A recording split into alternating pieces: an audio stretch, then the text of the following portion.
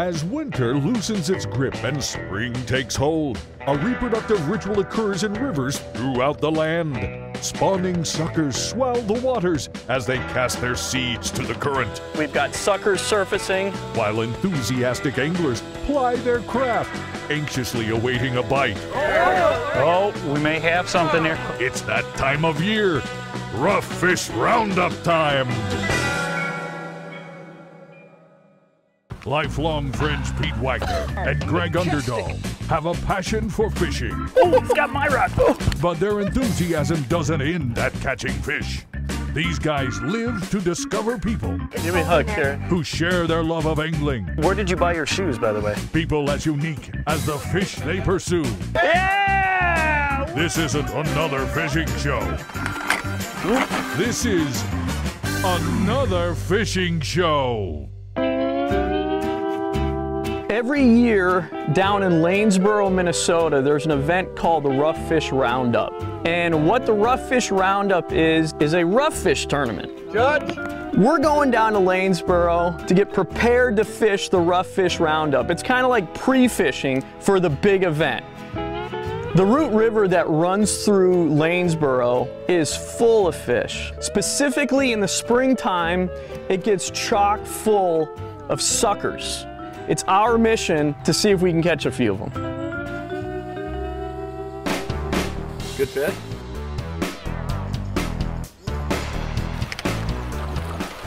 He ain't huge. Whitey? Yeah. It's a white sucker. And no offense to the white sucker, they don't fight at all. They're really mainly used for bait. Come on. Oh, they're beautiful. See, this time of year they get white like they are the rest of the year. Sucker fishing is not rocket science. You got a split shot, you got a hook, and you got night crawlers, which is our favorite bait for catching anything. Pete likes to gob up a night crawler onto his hook, into a ball.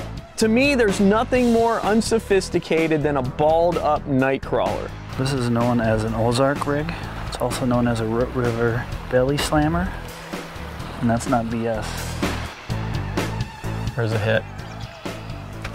Got him. Wow, he's fight. That's a good one, dude. Say what you will, suckers fight like hell.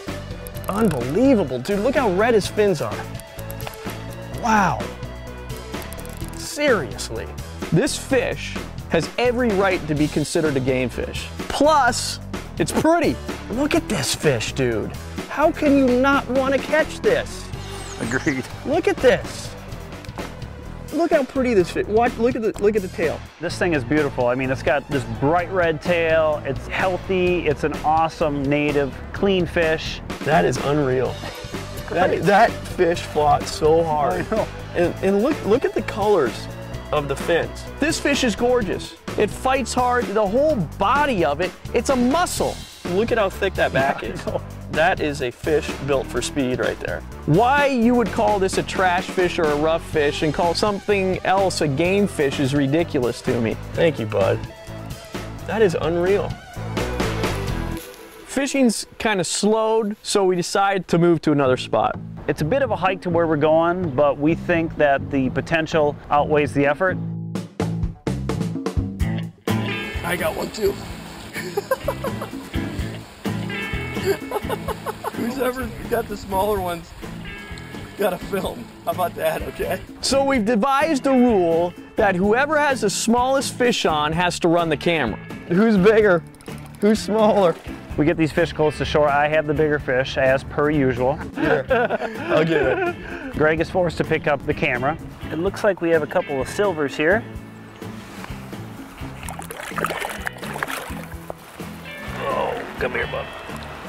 Yes. The problem with these suckers, there's no way to hold them. Now I know that's a silver. it's a feisty silver. Rough fish. Whatever. So I'm excited to give the camera to Pete and he can take camera duties now. Boof. Remember, these fish are in the spawn, so they're looking to reproduce. This um, anal fin is actually used to, I guess, kind of clasp the female when they mate. When they're spawning like this, it gets bumpy and also the, oh my God! Oh, money. I gotta release him. He's getting excited. Go, go. Things are gonna be coming out of these fish. They are procreating. If you're gonna take a kid fishing, don't take them during the sucker spawn. well, I think the spawn is on. That's a first. Quite frankly, it's X-rated.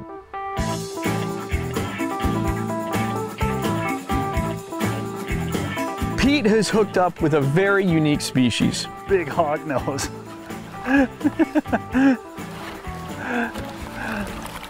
That's a good sized hog nose, huh? One of the earliest fish I ever remember catching as a kid is catching a hog nose sucker, which was always a highlight of my fishing day. Look at what's coming out of them. What? Oh, Oh, oh my lord. more hog noses. This sucker thinks that Pete is a gravel bottom, so she's gonna deposit her eggs on him. Honestly, I think it's kind of touching.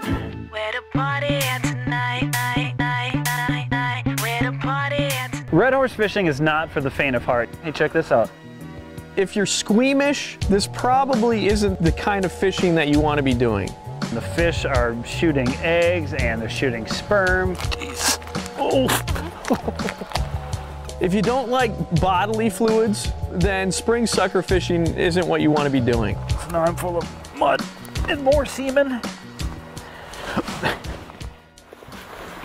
Pete hooks up with another fish. The fish are coated on the bottom. This is easy fishing. Why there's not more people doing this is beyond me. Cool, hold it. Pete has devised the most brilliant way to capture and hold these suckers. This is called the sucker hug here, which is very necessary sometimes to get the hook out. The only way to really get a sucker off your line is to tuck like a football, sort of Heisman style. Get them secure, get your pliers out, get that hook out, release that fish. I go under the railroad bridge, make a cast, I get a bite. It's a different kind of sucker. Is that a golden? Looks like it to me. Right? Pretty big golden. It's a golden red horse, we believe, and it's a big one. That's a heavy fish, dude. These fish, you can't hardly hold them. Oh, no, no, no, no. No, no, no. Nice grab. Somehow he catches this thing like Jerry Rice from Joe Montana. It's heavy. I mean, that's all thick muscle right there. You look at this thing, and it's just meat. The biggest sucker I've ever caught. There you go, Buster. And this is one hell of a way to end a fantastic fishing day. Bring on the rough fish roundup.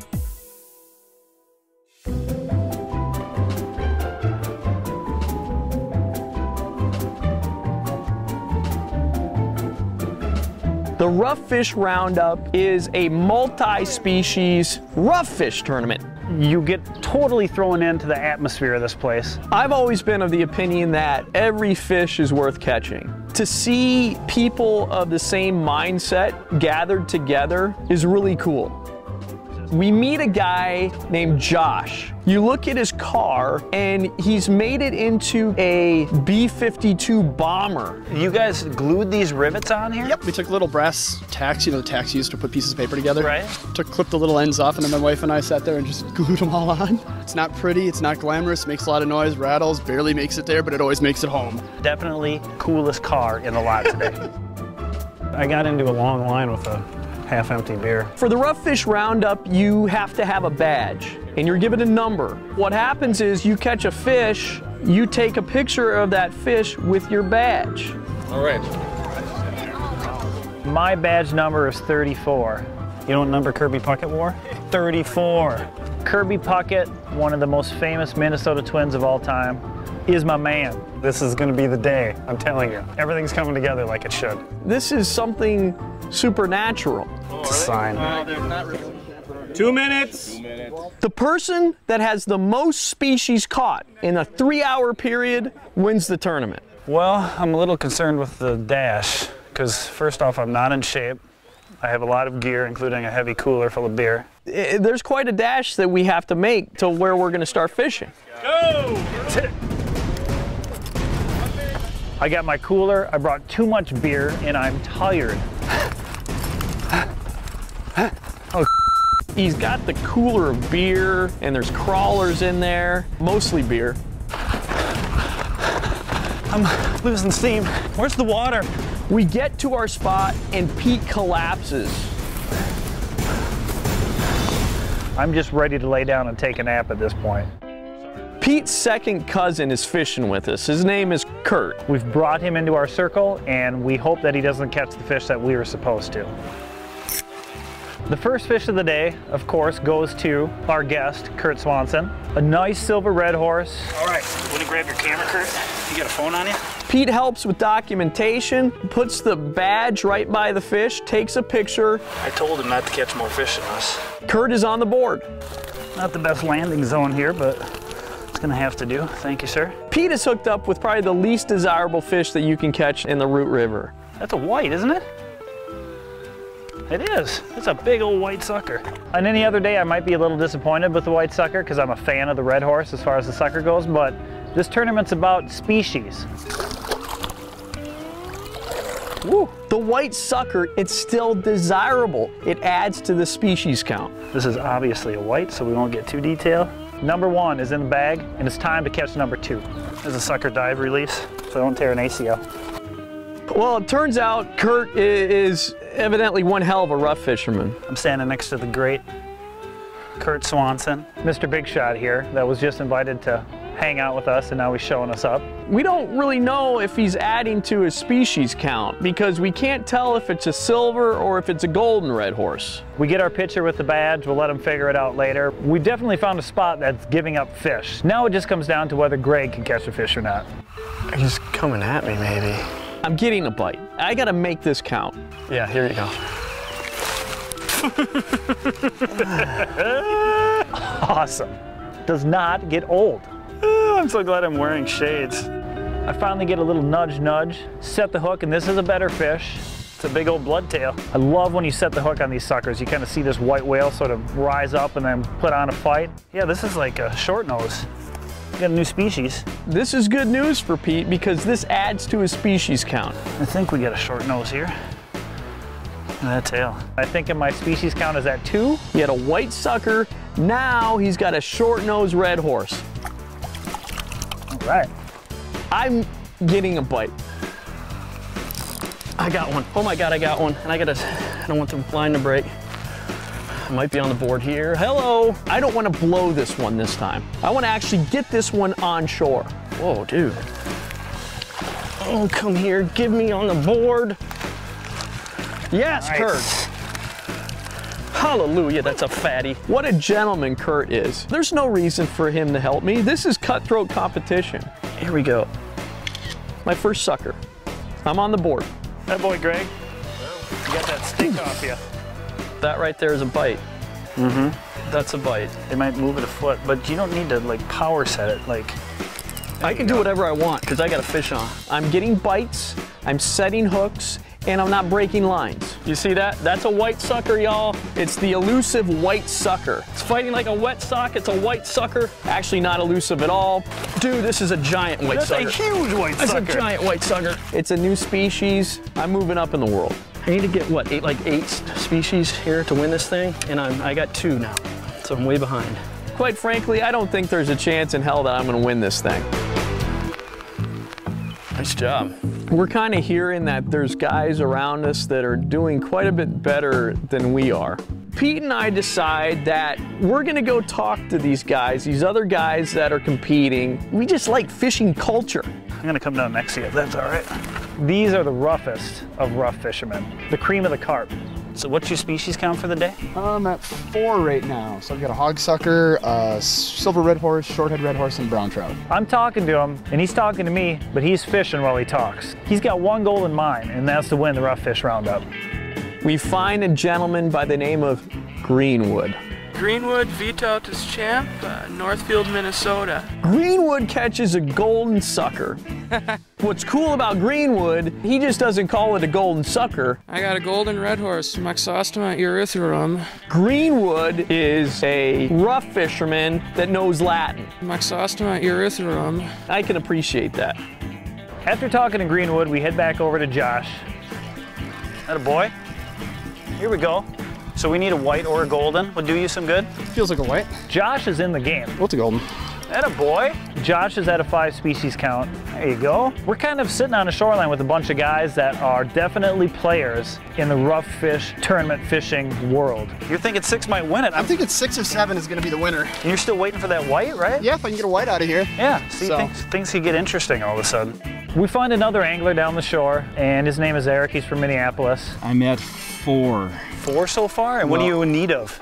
Everything beyond four. I mean, I'm just kidding. I'm hoping for a, uh, a white. I don't. I don't need one of these, but that's a beautiful fish, though. what is it? It's a short head. Nice fish, but doesn't do any good right now, huh? He's got your white, You doesn't got he? my white. Good job, man. Yeah, time for a little photo shoot. Greenwood. He's at it again. We might see a murder here. there we go. Josh is still Good waiting for that man. white, right? Brings in a white sucker right between two guys that need a white sucker for their species count. So he's busting both your asses Yeah. right now. He is. I tried to claim 30 degrees on either side of this rod. That 30 degrees either side, there it's actually my fish technically, but You know, he went from murder to happy for him within 30 seconds. This, but, I'm I'm very happy for him. and where did you buy your shoes, by the way? Uh, you know, it's nice. I've got like $400 waders hanging over a tree down the river. So You got to appreciate a guy that doesn't mind a little mud between his toes. Tournament is done. We're gonna hit the identification table and uh, see who's gonna come out the champion today. Now the real judging begins. I think I have maybe four or five species, but honestly, not a clue. Kurt maybe has an outside chance. That's a gold. I did not get a white. You've got all the red horse, so You got a trout in there, but what's that? Oh, that's a brown trout. okay. But I don't think you're past that, right? That's the last fish. That's the last so fish. he's Okay. four. You're at So four. close. All So. Kurt, how does it feel to be a total loser? Feels great. Okay. it turns out at the end of the tournament, we have multiple guys that share the species count, meaning a bunch of people caught five species. We have a massive tie. We're going to have to have a fish off. We're gonna go for the first person to land two fish. That way, because there's so many of you, it, it'd be easy to get a double. The first person to catch two fish of any species is the winner. Everyone has to go back down to the river that tied for the lead. So, ladies and gentlemen, this is what it's come down to. Root River, sudden death. It begins. Josh is the first one to bring a fish in. All right, Josh. You Confirmed? We've been right there with Josh to see him actually qualify for the fish off. He wants to win this thing. We missed it. What did you land? Uh, I got a shorthead red horse. All right. Aaron By brings home his first species. We have a tie ball game. One more wins the tourney, right? Yep. All right. Good luck, man. I'm here with world record holder Super Frog. The next fish is caught by Chad Super Frog. That's a terrible Cosell. I just lost it. What do we got there? Silver. A big silver. And he is in. He's got to get back in the water. Judge? It's a three red horse race right now. You couldn't script this any better. Uh-oh. Josh, you got it? Josh got one? He's got one. Yo, right here. We got a winner. Chicken dinner. Oh, oh we lost it. no. What happened, Josh? Broke my line. Not cool. We got to retie here. This is not cool. He's got to spend time retying when he knows he's got two guys breathing down his neck. This is your first retie today? Yep. Ill timing, huh? Yep, yep. Yeah, I horsed it a little bit. I took a shot. Josh is working frantically to get retied, and Aaron, who's right by him, sets the hook. Oh, we may have something here. Oh, we got an extra line. This is the winning fish. Aaron is freaking out. He thinks he's going to lose this fish on the other guy's line. It's still on there. You're still on there. Thanks, Doc. Check him out, Doc. Silver. Horse him in. Mark Sauce, come on, silver. We got him. Oh,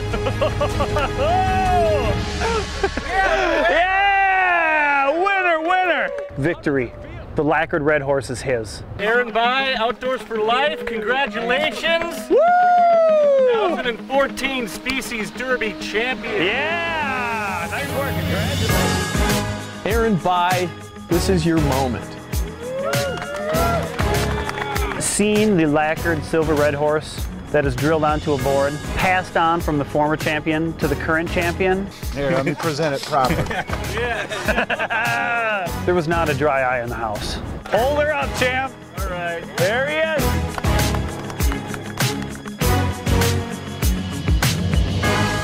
Your champion, folks. Take a victory lap.